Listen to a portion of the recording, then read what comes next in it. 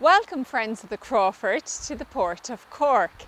And uh, about two weeks ago we, we squelched our way through the, the mud of the Lee Fields and today we're squelching our way through the seaweed of the outer reaches of the Cork Harbour. So we're down here today to bring you or your attention to three images that are hanging in the Statio Bene exhibition at the moment. And um, we're referencing these by coming down to the actual site of where they were painted from. So this one in particular is one, a watercolour, beautiful watercolour with honeyed hues that's from Alfred Dobbin. And Alfred Dobbin painted this in 1953 and it's called The View of the Ford factory, which is just over my shoulder here. And Alfred was the son of Lady Kate Dobbin, who featured two weeks ago when we did the bridges of Cork. She had that wonderful watercolour of Clarke's Bridge. So Alfred was um, honing in with a beautiful um, technique and with lovely shimmer across the water um, of the Ford factory that would have been here on the quayside next to the chimney. Wanted also to make the connection with something that you might remember from the autumn lecture series from Matthew's talks about the uh, beautiful honeyed tones that were also characteristic and carried through from a painting that was 100 years earlier almost. And this painting was by um, George Mounsey Wheatley Atkinson. And this was an oil on canvas of the paddle steamer coming right in into port, the port of Cork. And it also used and emphasized with the, with the use of those beautiful tones the importance of the port and the industry and the commerce that was brought to the region. And this was something also that was highlighted with Alfred Dobbins with the Ford factory that he was um, making reference to.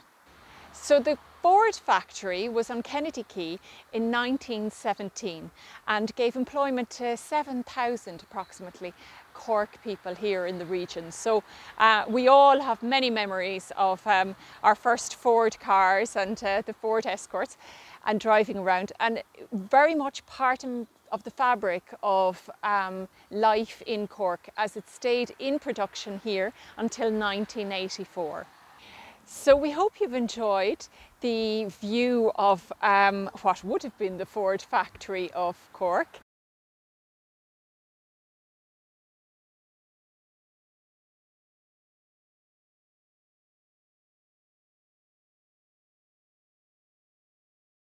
So friends of Crawford, we've brought you right down quayside now, right into the harbour area of Cork where all of the unloading and the loading is occurring. And what we noticed is that even though there's a lot of derelict buildings around us at the moment, there's still a lot of activity here with the trawlers coming in and coming out. So all the sounds are very audible. It's all quite still a busy working port.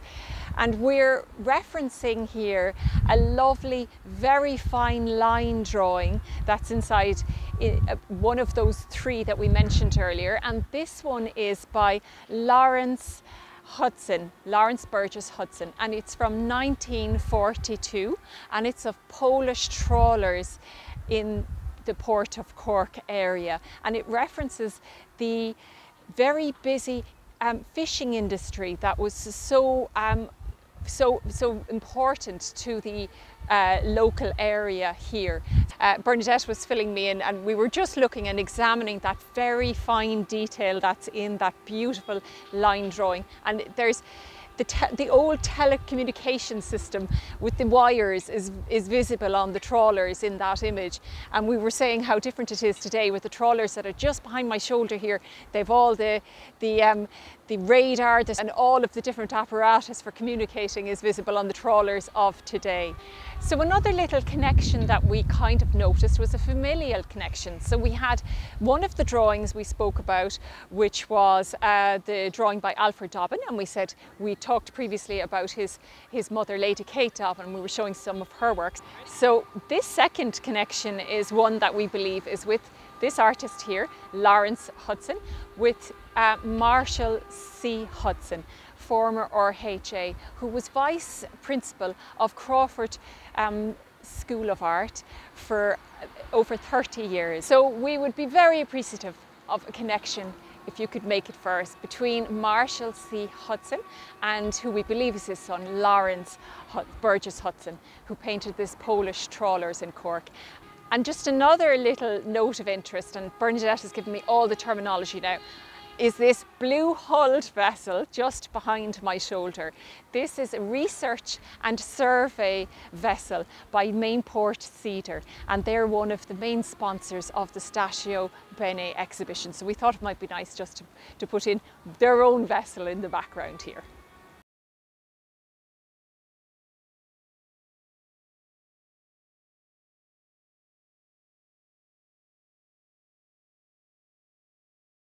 I just overheard a little snippet of a conversation between a dad and his, his two young kids as he was talking about the trawler. And there's some things never changed. And he made reference to this little wooden, uh, I don't even know what you'd call it, a wedge that they put on the rope line. And uh, it's used for the same purpose today as it was back in 1942, which is to prevent rats from running up the side of the ropes. So I just thought that was a great little gem there that, uh, that we still get to hear and that children will get to hear and learn about because the trawlers come right in to our um, quayside here. The last painting we want to reference today in that three um, paintings collection that we've been talking about from Statio Bene is the um, beautiful bright watercolour from 1900 by Joseph Poole Addey. And he was an accomplished landscape uh, uh, artist as well as a portrait painter. And he painted a, a wonderful painting of Lady Ashburn. And he um, was born in Dublin and he studied at the RDS um, School of uh, Design in Dublin and in the Cork School of Art also. And that painting which is a view of Haulbowline um, it depicts beautiful pleasure craft and commercial craft um, in what we know now as the Cobh area. And whereas we can't bring you there today because we're within our five kilometre range, we did manage to get there um, previously on our Cork About to Cobh. So you'll be able to see um, just around by the Sirius Art Centre where that painting is actually um, taken from. So we hope you enjoyed all the sounds and the sights from the port of Cork here today. We've certainly enjoyed bringing you, bringing some of them and connecting them back with works inside in the gallery.